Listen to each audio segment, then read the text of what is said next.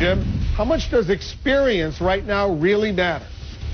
Well, Wolf, Barack Obama himself questioned whether he was ready to run for president back in 2004. Now he's fighting a two-front battle on the issue of experience, with John McCain and Hillary Clinton taking shots at Obama's resume.